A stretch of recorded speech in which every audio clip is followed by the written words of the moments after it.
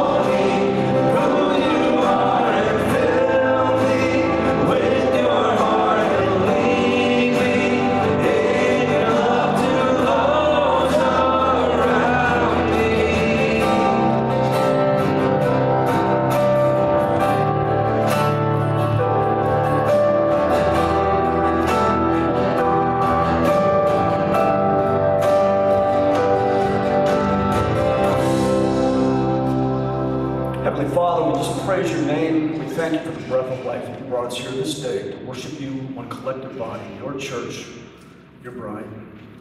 Lord, teach us through your ways. In Jesus' name, amen. Amen. Have a seat if you would, please. Bible Explorers, uh, you can uh, head off for your program. And uh, I invite Randy to come pray for us all this morning. Good Morning. Thought I had a little more time than that. Um, Anybody here stressed this morning? Yeah, a little bit, a little bit. Um, I got a little bit of stress, but it's not my stress, it's someone else's stress. And So, you know, if you ever notice, like when people get stressed, it migrates through people. But I'm here to tell you that there is nothing to be stressed about for anything because God is in control. And the Bible tells us that neither height nor depth nor uh, angels or demons, nothing can separate us from the love of God. So if we have the love of God and salvation, there's nothing to be nothing to be stressed about. So just let it go. Let's pray. Lord God, we praise your name. You are in control. There's so many things that we're dealing with, Lord, issues with work and uh, sickness and death and um, just health problems. Lord, it just, sometimes it goes on and on. But Lord, you hold the world in your hands. You, uh, you are in control of everything, and we are yours. And you have told us that if, if we will remain in you and um, you remain in us, if we keep your word, Lord, there's nothing that we can't do. So just thank you, Lord, for that. I just pray, Lord, that you would be here with us today, that you would take away any anxiety that anybody has, any distractions um, from being here and worshiping you. And so, Lord, we bless your name, we praise you, we love you, and we just we invite you into our hearts, Lord, and into our lives. Be with us. Be always be with us, Lord, and um, just let us always be strong in you. And Lord, um, you taught us how to pray a long time ago. You taught your disciples, and you told us to say, Our Father, who art in heaven, hallowed be thy name. Thy kingdom come, thy will be done, on earth as it is in heaven. Give us this day our daily bread, and forgive us our debts as we forgive our debtors. And lead us not into temptation, but deliver us from evil. For thine is the kingdom, and the power, and the glory forever.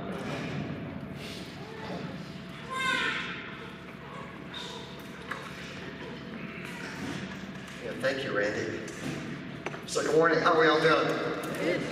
Good. Good. Everybody being honest? Yeah, struggles are part of the deal. But uh, as Randy said, great news. God's in control. He's got it all. Um, a couple of quick announcements uh, before we open up the Word of God this morning. Um, our, our prayer team has uh, revived something that we used to do back in the day when we gave you paper bulletins which is to give you a paper prayer list. Uh, I don't know about you, but if I get emails on my phone, you know, they're, they're less effective at me when it get to things in prayer than having a good old-fashioned list because I'm an old-fashioned guy. So, so uh, these are available. They're going to be on the table over there uh, on a weekly basis. Uh, things that you can pray about, some prayer praises to share. So um, uh, you can use this to kind of up your game on uh, intercessory prayer, like praying for other stuff and other folks. And so um, I bring that to your attention. And uh, the other thing that uh, we're going to be doing just as a regular matter, uh, I think maybe last week, uh, and gave people opportunity if they wanted prayer at the end of the worship service, was to come join uh, our prayer team folks like right up here, okay? And so we're going to make that just part of the regular pattern, okay? So um, if, uh, if right now you think, boy, I'd sure like to pray with somebody, well, we'll make that available in not too terribly long. Of course, you got to endure a sermon as Communion Sunday, so I don't know, 115. Just kidding, okay. Okay, a couple other things just to let you know about is um, uh, if uh, you check your email, uh, something went out early this morning, just an update of progress in the rebuilding. Uh, things are starting to starting to percolate right now, so an update for you guys, and keep you informed as uh, important stuff happens, uh, especially things that we would want to all participate in as far as decision making. And then one other uh, little news item is that um, know, my, my, uh, my new friends in the state police, uh, who I get a chance to talk to periodically, um, uh, they, they informed me uh, a couple of days ago that uh, several people uh, you know, were uh, suspects in our arson fire, and some arrests have been made. In fact, all of the arrests have been made. And, and so I expect that will become a, like a matter of like the press and public, uh, public information office, press releases and, and that kind of stuff. So, um, so, you know, you can expect that news. Uh, and in fact, it was arson, okay? And the people that did it, they've been figured out and they have been, uh, they have been arrested and charged, okay? So, uh, again, I, I don't know a lot because I just get these tidbits that they choose to share with me, but there should be some public stuff in a couple of days. So something to pray about because uh, here's the deal, right? Is um, we have been forgiven by uh, loving God. And his word is pretty clear. I mean, we have been so forgiven that it is just like cuckoo for us to presume to withhold forgiveness from anyone else. And it applies in our everyday life, but in this case in particular, that, that mercy, that grace of Jesus that we've received, uh, we're going to have an opportunity to put that on display.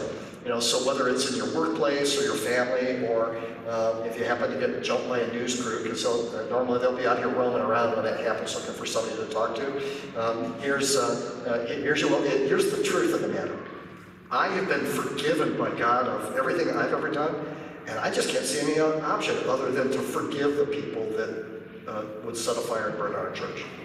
God forgives them, I forgive them, and I pray for His blessing and His best for them. Okay, so uh, hope that resonates with you. And uh, if it doesn't, uh, go into hiding. Okay, so don't say something stupid and end up on TV. Okay, okay, good, good, okay. So we're going to be opening up the, the scriptures this morning, uh, not surprisingly, to the book of Acts. That's what we're doing right now, and uh, that's what we do in this church. Is uh, we tend to, to, to settle into a book of the Bible and see what God has for us. And uh, by the way, that does put us in a position to sometimes talk about the things we don't want to, and to hear the things that um, I'd rather not tell you. And uh, but we're not there this morning. We're in a, in a text that's going to be very encouraging this morning. By the way, happy October. Happy October. Okay, if you're a federal worker, you know, happy New Year's. Uh, the fiscal year started today. Uh, I, I kind of like October uh, because, uh, well, a couple reasons. I like uh, apple stuff, okay? Don't bore me with pumpkin spice, that's not my deal. But I do like apple stuff, and, and I like, uh, the surf gets good this time of year, and I love the fall foliage, but also my first grandchild was born in October. So we were looking forward to a birthday. Um, we have some birthdays like right in our midst, okay? And they're like old guys. And I don't want to embarrass them by telling you who they are, Bob and Mallory, uh, or to sing happy birthday. Bob was like last week, Mallory is in a couple days. Anybody else have like a birthday going on like right now? John has a birthday. End of the month, okay. Okay, good. Well, it's Communion Sunday, so for the sake of sun time, we'll just, uh, just, okay, why not? Happy birthday to you. Happy birthday to you. Happy birthday, dear and Mallory and and Zoe. Happy birthday to you. A beautiful harmony coming in. Good. So you know, we celebrate birthdays, right? We uh, like like they are custom. Most of our customers are kind of weird, but you know, you put like candles on a cake. And when the, ki- when the kids are little, right, they just kind of go with kids. You go like one candle for each year, kind of a thing. And then when you get to be like geezers, like well, like me and the other couple guys here, you, you get like one candle typically, right? Maybe on a cupcake or you know maybe on a plate of kale or something. get, your, get your one candle, right? Because instead of counting all those candles and have to blow them out all at once, it's really hard if you're old because you don't have that kind of force of breath. Um, and also, you know, who wants to count on that? But, it- but you know, it, sometimes you get hold of those trick candles, right? You know the ones I'm talking about? The ones where they take like Fourth of July sparkler dust and like uh, put that in the, I think they put it in the wick, so you can't blow the candle out. Okay, like just here's a little caution from a guy who can make mistakes like this. That is like cruel. If you do that to a little kid who has been persuaded that if they make a wish and blow out all the candles, they'll get their wish. So don't do trick candles on little kids. Okay? Uh, you can do them to like Bob and Mallory and John and me because we're old guys. Okay? But don't do it to little kids. But there's trick candles, right? You can't blow them out.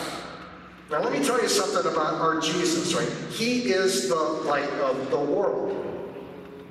And the message of the gospel is the message of that light. And many, you sang this song like in a Sunday school kid, this little light of mine. I'm gonna let it shine, right? Okay, this little light of mine. And then there's one verse in there that says, yep, yep. What is it? Won't let Satan. Won't, yeah, thank you for the word. Won't let Satan it out, right? That's what, when you're saying it with the hand signals, won't let Satan blow it out. Well, let me tell you something.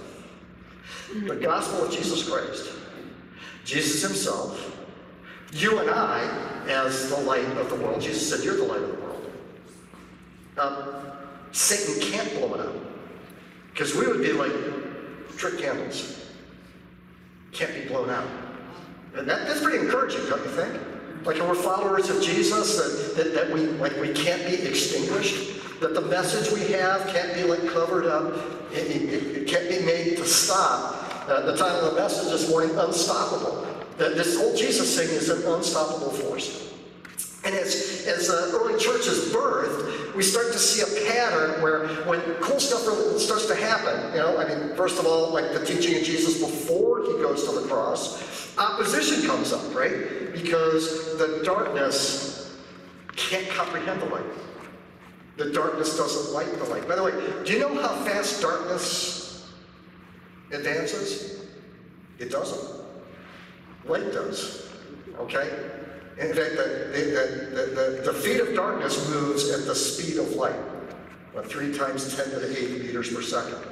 So when the light shows up, the darkness, it goes. The candle can't be blown out. Well, that, that opposition comes, and after the death, burial, resurrection, and ascension of Jesus, the early church gets started, and we've already seen like, like kind of a first round, right? Where Peter and John, they um, they are involved in a miracle. They're preaching the gospel, and it's happening like right at the temple there. And uh, the religious authorities like arrest them. You remember it's back in chapter four. They arrest them. They bring them in. They you know threaten them, and then send them on their way. And then they you know after that threatening time, then they have a prayer. Right? They pray for boldness. They pray for miracles, and then God answers that prayer. And where we left off last week is with the apostles doing like these powerful miracles. And, and what they're doing is like right in Solomon's portico. And it's like right at the temple, which is like headquarters for the old religion that is being replaced by the new covenant. And so the headquarters guys, you know, they're alarmed at this stuff. And, and it said, as we saw last week, that, that the number of people that are coming to faith is measured uh, not like as a crowd, but as the word was multitude. So, like, you know, massive numbers of people are choosing to follow Jesus. And so, not surprisingly, it's time for the opposition to make another move. And we're going to read that this morning. And when they make that move, we're going to see four powerful points of encouragement about how this little light of mine cannot be extinguished that we, we are like living trick candles. And so we cannot be stopped as we serve Jesus. So this is a lengthy passage, but I'd invite us to just listen to it all at once and then we'll talk about it. Uh, I'm going to be in chapter 5 of Acts, beginning in verse 17. So I'd invite you to stand as we, as we hear from the Lord. But the high priest rose up and all who were with him, that is the party of the Sadducees, and filled with jealousy, they arrested the apostles and put them in the public prison. But during the night, an angel of the Lord opened the prison doors and brought them out, and said, Go and stand in the temple and speak to the people all the words of this life. And when they heard this, they entered the temple at daybreak and began to teach. Now, when the high priest came, and those who were with him, they called together the council, all the senate of the people of Israel and sent to the prison to have them brought. But when the, official, when the officers came, they did not find them in the prison, so they returned and reported. We found the prison securely locked and the guards standing at the doors, but when we opened them, we found no one inside. Now, when the captain of the temple and the chief priests heard these words, they were greatly perplexed about them, wondering what this would come to. And someone came and told them, the men whom you put in prison are standing in the temple and teaching the people. Then the captain with the officers went and brought them, but not by force, for they were afraid of being stoned by the people. And when they had brought them, they set them before the council, and the high priest questioned them, saying, We strictly charged you not to teach in this name. Yet here you have filled Jerusalem with your teaching, and you intend to bring this man's blood upon us. But Peter and the apostles answered, We must obey God rather than men. The God of our fathers raised Jesus, whom you killed by hanging him on a tree. God exalted him at, the, at his right hand as leader and savior to give repentance to Israel and forgiveness of sins. And we are witnesses to these things, and so is the Holy Spirit, whom God has given to those who obey him. When they heard this, they were outraged and wanted to kill them. But a Pharisee in the council named Gamaliel, a teacher of the law, held in honor by all the people, stood up and gave orders to put the men outside for a little while. And he said to them, Men of Israel, take care what you are about to do to this man. For before these days, Theudas rose up, claiming to be somebody, and a number of men, about 400, joined him. He was killed, and all who followed him were dispersed and came to nothing. After him, Judas the Galilean rose up in the days of the census and drew away some of the people after him. He too perished, and all who followed him were scattered. So in the present case, I tell you, keep away from these men. Let them alone. For if this plan or this undertaking is of man, it will fail. But if it is of God, you will not be able to overthrow them. You might even be found opposing God. So they took his advice. And then when they had called in the apostles, they beat them and charged them not to speak in the name of Jesus and let them go. Then they left the presence of the council, rejoicing that they were counted worthy to suffer dishonor for the name. And every day in the temple and from house to house, they did not cease teaching and preaching that the Christ is Jesus. Father in heaven, we thank you for these wonderful words of life. And Lord, we thank you so much for the light of the world, Jesus, who came. And we thank you, Lord, that as we open this word, you will use your Spirit to illuminate these truths in our hearts and bring this light to life in us. And so that to, to that end, Lord, we just surrender to you now. Have your way in our minds and our hearts as we hear and as we receive the wonderful Word of God. In Jesus' name I pray. Amen. Well, be seated if you would, please. Okay, so the, the, idea is, you know, if God's move, you can't stop him. The idea is that the gospel of Jesus Christ is unstoppable. And the idea is that this, this light, this candle flame, if you will, of the gospel and of Jesus, the people of Jesus, is something that well, you, you can't stop it. And we, as I said, we're going to see four points of encouragement here. Okay, the first one is right at the beginning of the story, right? So, so the high priest and, and those that were with him, uh, that is the party of the Sadducees. By the way, two two sets were in that in that realm right now of, of guys who really wanted to follow God's word, the Sadducees and the Pharisees. Um, you can tell the difference because the Sadducees did not believe in like an afterlife. They really didn't believe in the miraculous, and that's why they are sad. You see. Okay, so there, there's a little sidebar Bible lesson. But these guys, right, it says they're filled with jealousy. Right? Like Jesus is winning all these people by these apostles that are doing the miraculous and telling people about Jesus. And so they arrest the apostles. The first round they arrested Peter and John. Now they have Peter and John and the other ten. So they arrest these guys and they throw them in the slammer. They put them in the public prison they take them captive. You know, when Jesus' earthly ministry started, right, he gets baptized. He is filled with the Holy Spirit. He has that time of like temptation in the desert. And, and, and then he goes back to his hometown Nazareth. And he shows up at the synagogue, like where he grew up, like where he would have gone to like Hebrew school as a Jewish lad. And, and, and, he, and he is now in the role of teacher and they invite him to read the scripture and to teach. And, um, and some kind of like Bible read-through schedule thing going on, and they happen to be in the prophet Isaiah. If you're using our Bible read-through schedule, you're in the prophet Isaiah right now. And so he gets up and he starts reading from the scroll. And these are the words that he reads. The Spirit of the Lord is on me because he has anointed me to preach good news to the poor. He has sent me to proclaim freedom for the prisoners. So what do you think Jesus does? What do you think God does? What do you think the Lord's plan is when some of his people whom he loves are taken to prison? Well, you see right here. He sends like the jailbreak angel. Right? During the night, an angel Lord opened the prison doors and brought them out. How about that? So, so you're thinking that the light of the gospel is being spread by these wild-eyed apostles doing miracles, and, and so you're going to lock them up. Yeah, that's a good plan. These are the same guys that thought a way to kill this thing was by killing Jesus, and what did he do? He rose from the dead. So they lock him up, and the jailbreak angel comes and takes him out. And not only does he say, hey, you guys are free, like run away, he doesn't say that. What he says is, he says, go, go and stand where? In the temple and speak to the people all the words of this life. Okay, so birthday candle, I wish Jesus would go away. Comes right back to life. They just wasted their breath, their birthday boy breath. They just wasted it. And, and, and, so, like, here's, here's the simple message, right? If the world, if Satan, if the temptations of your own flesh attempt to take you captive, the Lord Jesus will send the jailbreak angel and you will be released. In fact, the will be part, I don't quite have that right.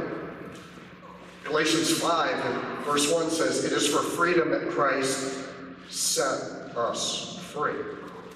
You're already free. If you're a follower of Jesus, you have already been set free from any and every and whatever captivity would hold you captive. I mean, maybe like bad men that would put you in prison, uh, like, like the case here. But most of us, the captivities that we experience are captivities to the to the to the, the schemes and the wiles of the enemy working with our flesh and with the help of a very organized world around us to take us captive to things like anxiety, fear, unforgiveness, and grudge.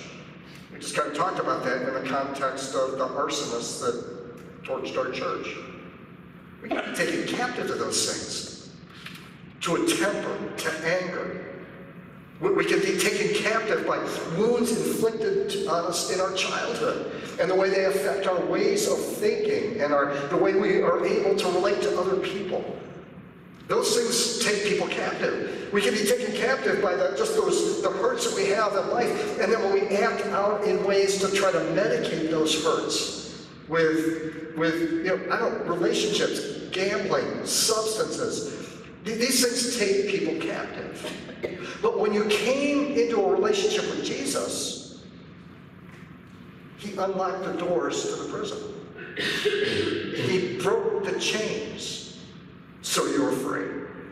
So, I mean, the simple message here about the gospel is if they lock us up, the, the Lord's going to get us out so we can tell more about Jesus. That's the, that's the basic. But the thing in your life and my life is that, that you have been set free by Jesus and I know, I acknowledge, I understand that for people that have been taken captive by like addictive things and so forth, they are living a life that involves a lot of work to, with the help of Jesus and the power of the Spirit, to be ever more reminded that they are free.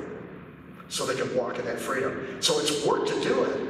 But the fact of the matter is, if, if, if, if the bad, if the bad men, if the bad angel Satan, if the world around us tries to take you captive, Jesus has made us free.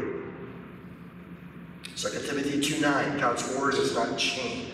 The gospel is free to run and be glorified. 2 Corinthians 3.17, where the Spirit of the Lord is, where's the Spirit of the Lord this morning? You can point. It's right in us, right? Where the Spirit of the Lord is, there is what? Freedom. There's freedom. Now, I don't know if you're encouraged by that. I certainly am. It can't lock us up. I can't lock myself up. The flame of the light of Jesus can't be stopped. Okay, second point of encouragement um, is, uh, by the way, it's, it's it's ironic and colorful the way this unfolds, okay? So like the high priest, you know, comes in like in the morning and, and says, okay, you know, we got the whole council together, so I'm gonna get all the, all the big shots here and we're gonna have us like a tribunal or something, and, and we're gonna figure out a way to like punish these guys and get them to stop talking about Jesus. Uh, that's the strategy they tried last time, which failed, by the way. So they, they're going to do that. And then, then they send like the, the, the officers, the guard guys, to go get the apostles and bring them from the prison. And when they get there, they find the doors are locked, the guards are still standing there, and there's nobody in the prison. By the way, the, um, uh, the uh, jail breakout angel, he's pretty crafty.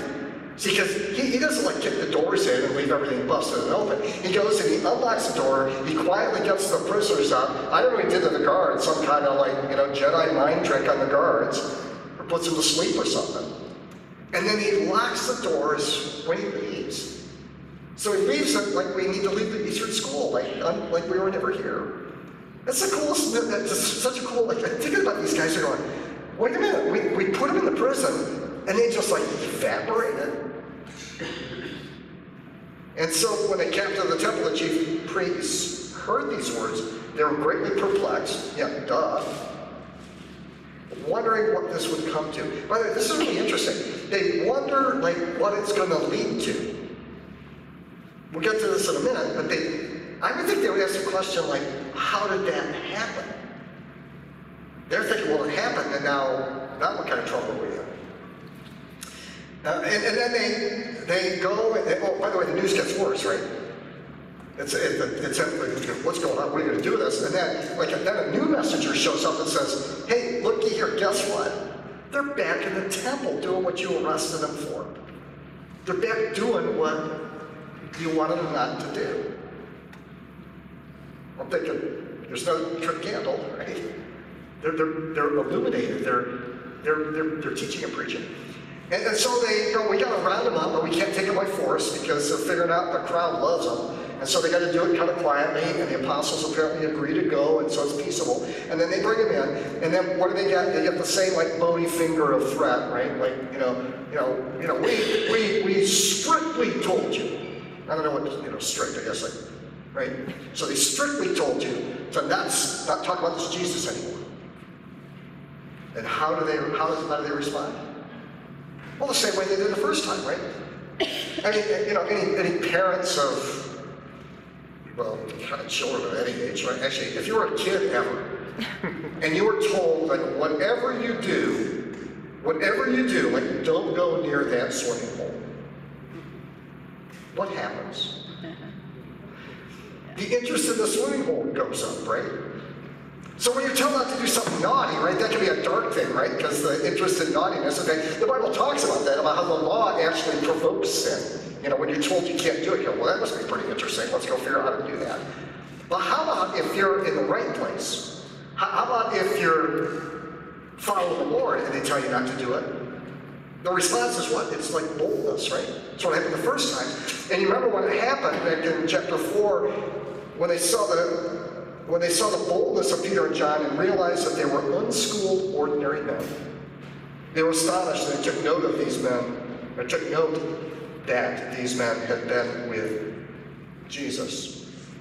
Okay, so kind of the first point of encouragement, if they try to lock you up, Jesus has made you free. The second is that if they try to intimidate or scare people from sharing the good news of Jesus, the Lord emboldens us. And that's what we say, is that they get bolder. And, and, and that, that, boldness is like, I mean, it's, it's, it's pretty remarkable. In he tells them the same thing that he told them before.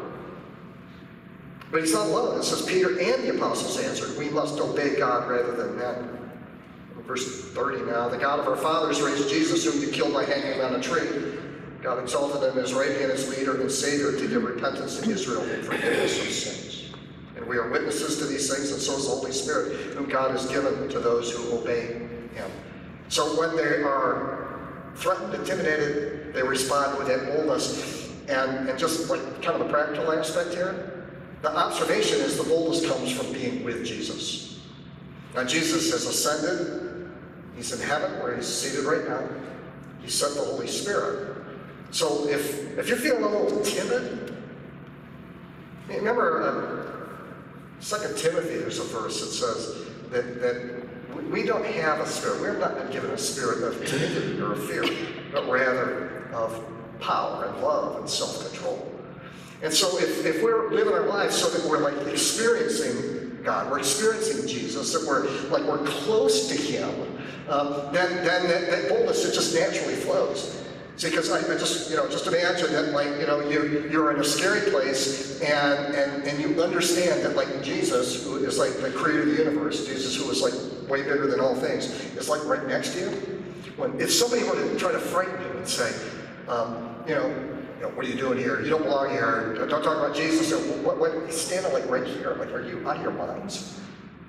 Jesus is Jesus is the one that will actually separate the sheep from goats and render judgment on you at the end of the age.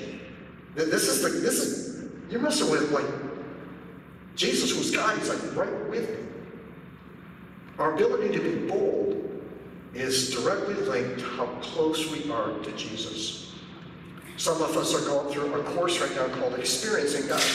It's about that. It's about experiencing Him. And, uh, and the course has us doing some scripture memory work, which, by the way, is like way easier for like nine-year-olds and for older people. But that the verse for the first week, okay, uh, this is accountability time because I'm going to do this from memory. This is Jesus in the upper room. He's talking to his disciples before he's going to go to the cross, die, rise again, leave, and they're going to be doing this stuff.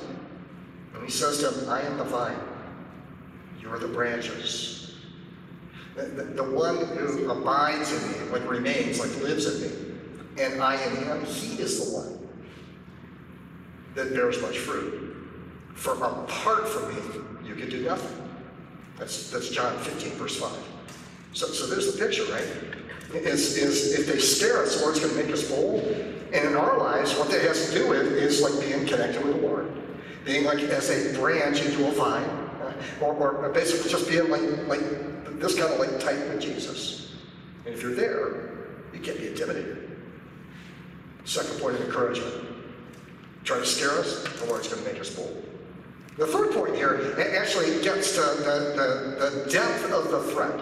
The depth of the threat. It says that, that, that you know, when, when they get this response about, you know, you're the guys who nailed him to a tree and he, he's seated right of the Father, he's Lord and Savior, and we got the Holy Spirit, you know, it's like, you know, those are like fight words. And so it's when they heard this, they were enraged and wanted to kill them. So now they're like murderers, right? So, so let me ask you this. Let me ask myself this. It's like, am I afraid to die? Are we? Are we afraid to die? Are we afraid of death? Uh,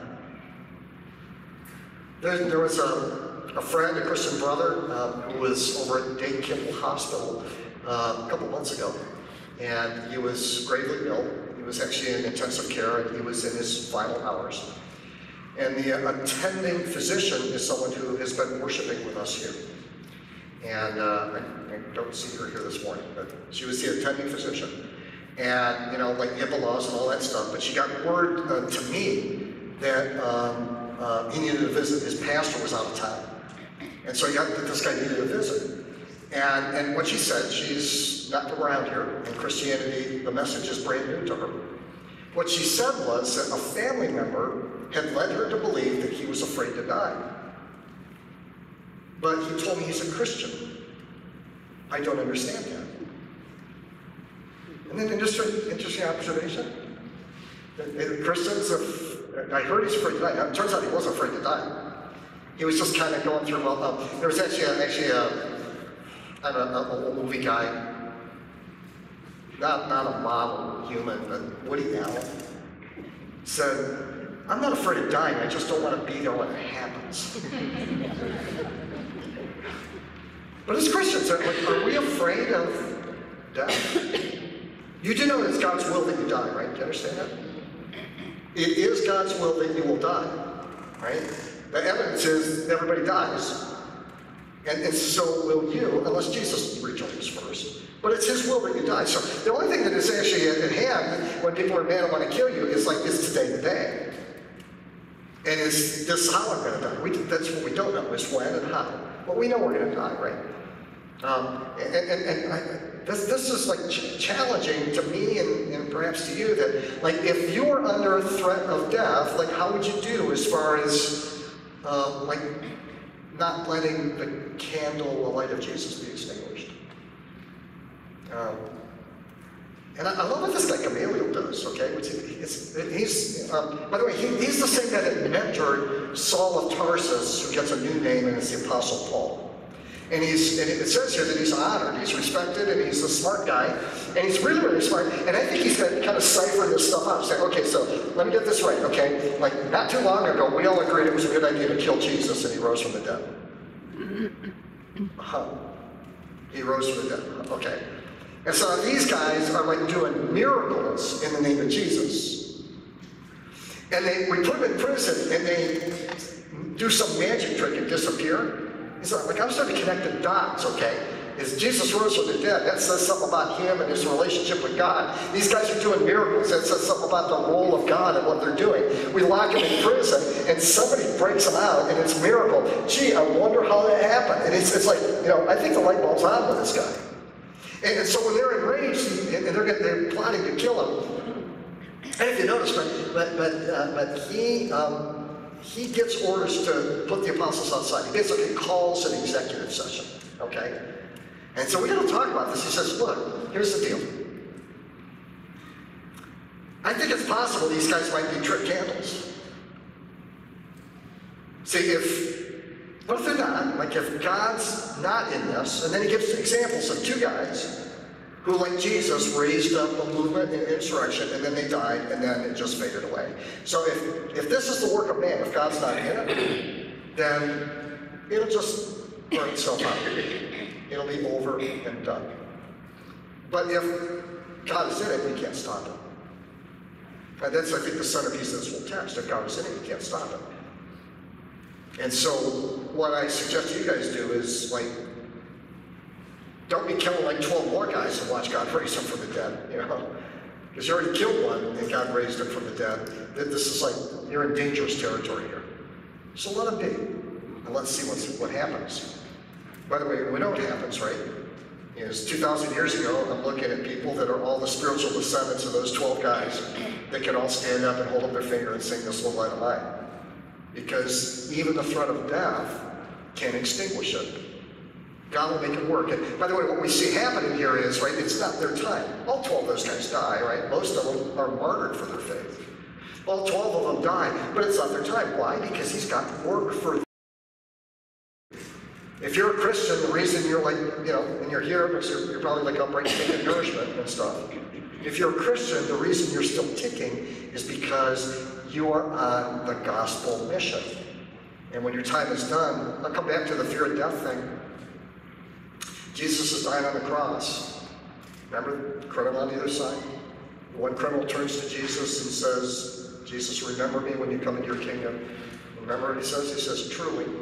By the way, if the one who is the way and the truth and the life says truly to you, I think it's true. He says, truly, I tell you, today you'll be with me. Where? In paradise. Right? So, let me come back to the fear of dying. Do you believe what Jesus said is true?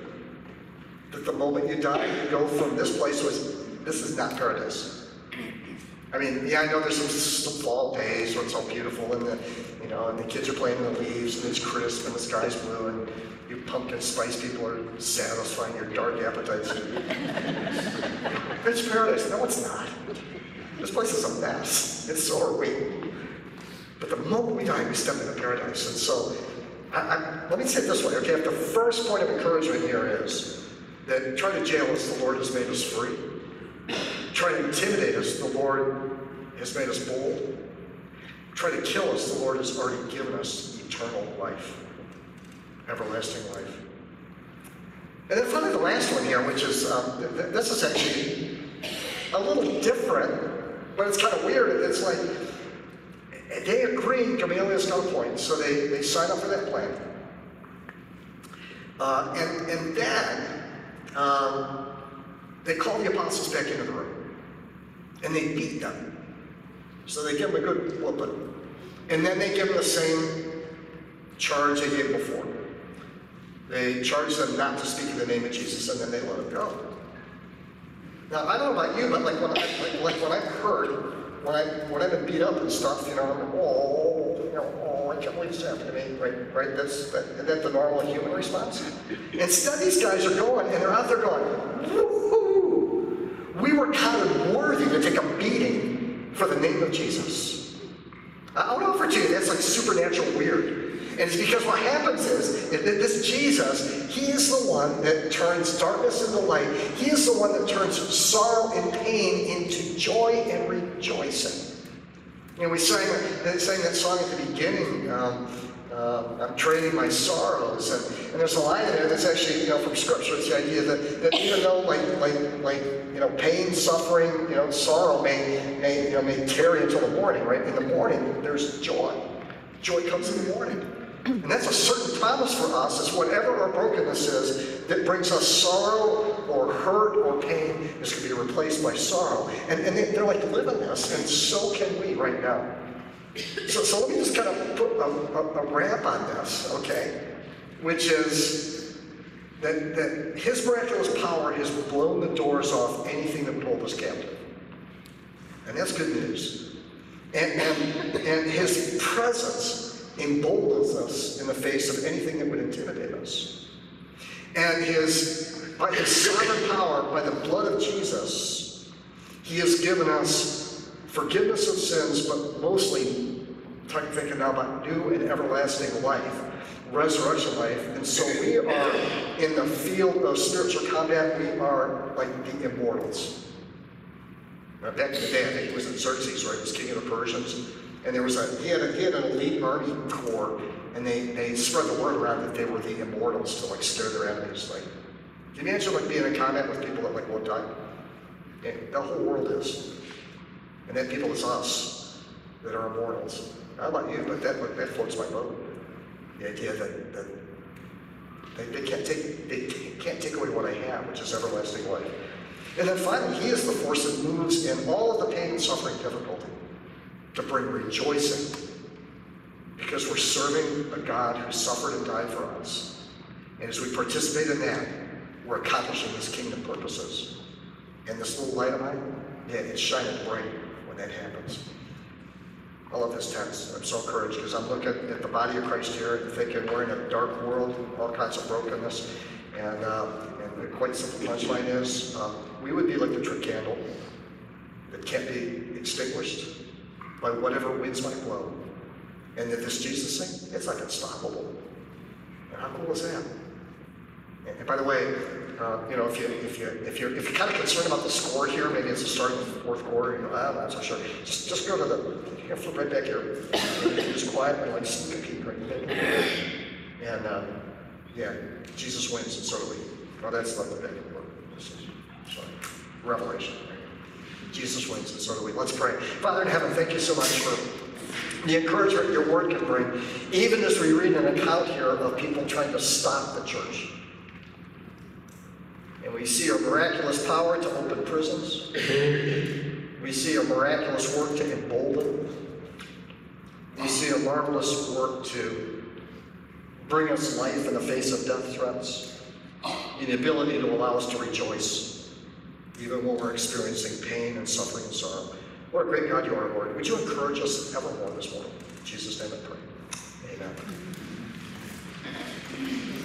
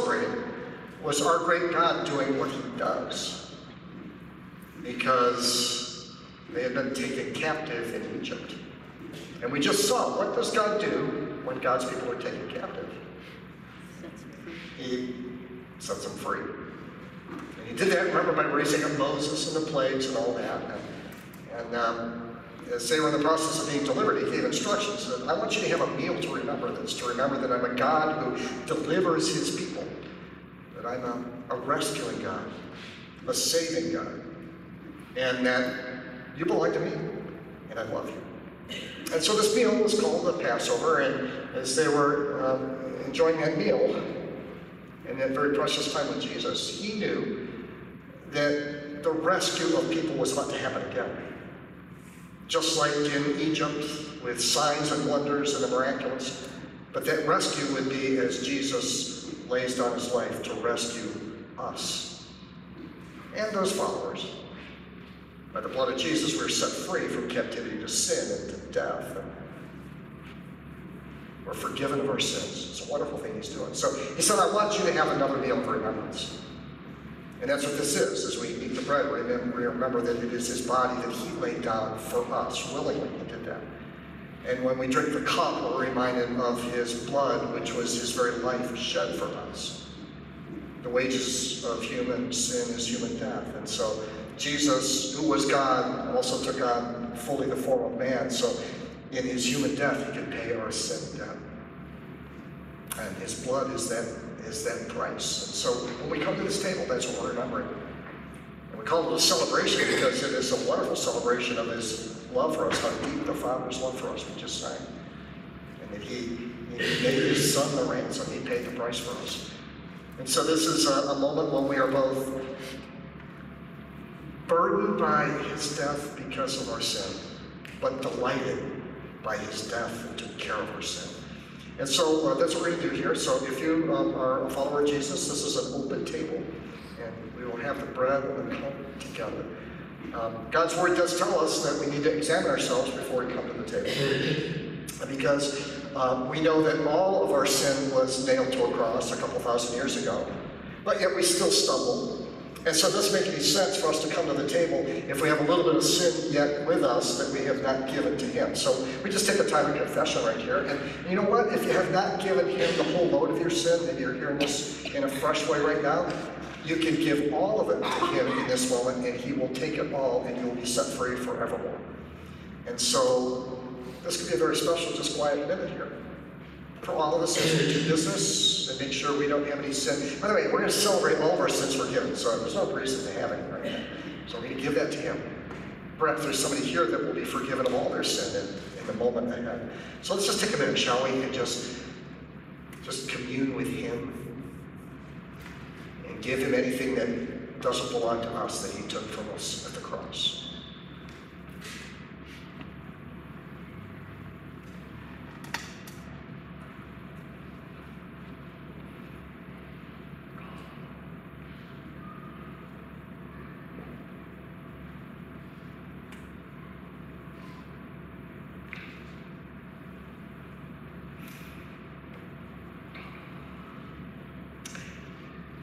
Surely he has borne our griefs and carried our sorrows. Yet we esteemed him stricken, smitten by God, and afflicted. But he was pierced for our transgressions. He was crushed for our iniquities. Upon him was the chastisement that brought us peace. And with his wounds we are healed. We all like sheep have gone astray. We have turned everyone to his own way. And the Lord has laid on him the iniquity of us all. Mallory, would you give thanks for the bread, please? Heavenly Father, we thank you for the opportunity to partake of this bread. Because in eating this bread, we become part of Jesus' body symbolically. We we're reminded that we're the candle that cannot be blown out. Thank you for this bread. In Jesus' name, amen. Thank you. For I received from the Lord what I also delivered to you, that the Lord Jesus, on the night when he was betrayed, took bread, and when he had given thanks, he broke it, and said, This is my body, which is given for you. Do this in remembrance of me.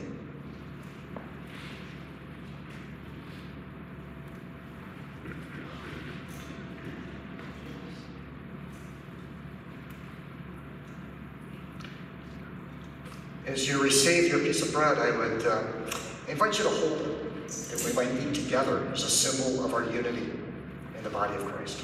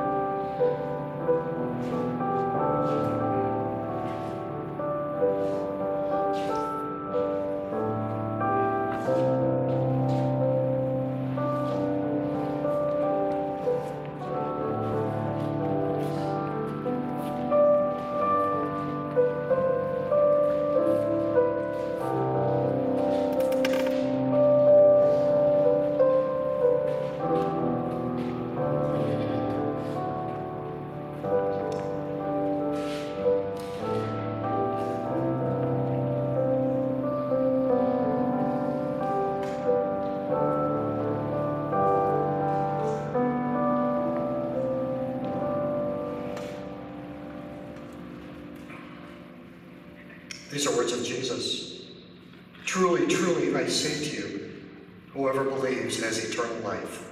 I am the bread of life. Let's eat together.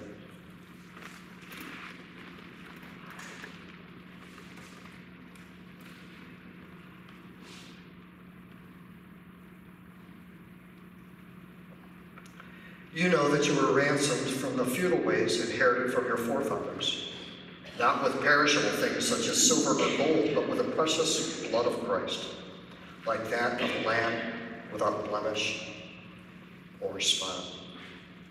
Jack, would you give thanks for the cup, please? Thank you, Father, for the opportunity to meet again in your name and in your presence. We thank you also for the many blessings we enjoy each day. But most of all, we thank you for the sacrifice of your Son Jesus, that we may enjoy eternal life. And as we take this drink today, help us to appreciate the significance of all of these events. In Jesus' name, amen. Amen. Thank you.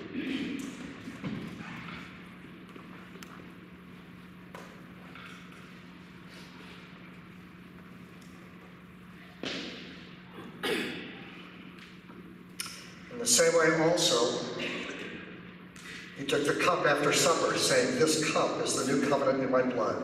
Do this as often as you drink it in remembrance of me.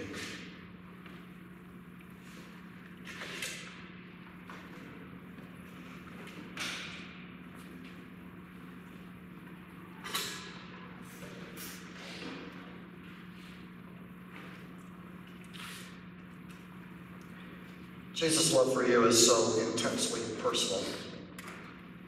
I'm speculating, but I believe it to be true. That if you were the only one among our human race to have rebelled against God, that he would have left his throne in heaven and he would have died for your sin. That's how much he loves you. So very personal. So as we are in the same room doing this, you don't need to wait for the rest of us.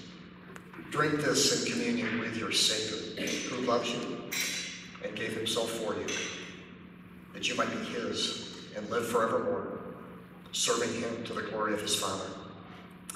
This is between you and your Savior. Drink with him.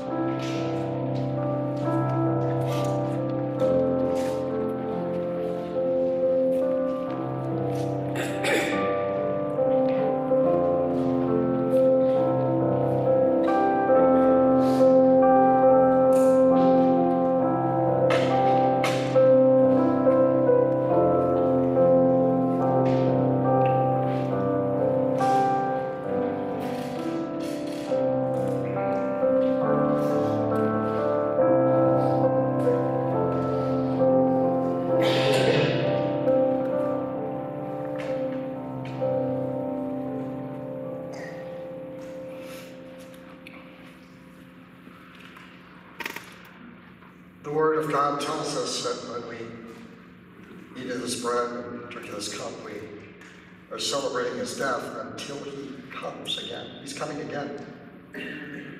Jesus didn't stay dead, he rose from the dead. Christ is risen. He's risen indeed. Yeah, Christ is risen. He is risen indeed. He's coming back.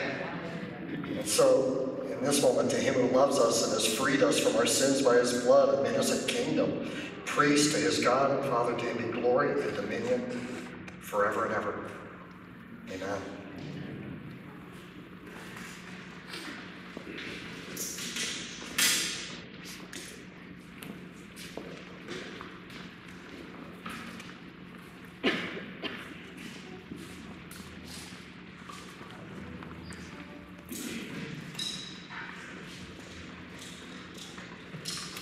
Welcome to join for fellowship following the service.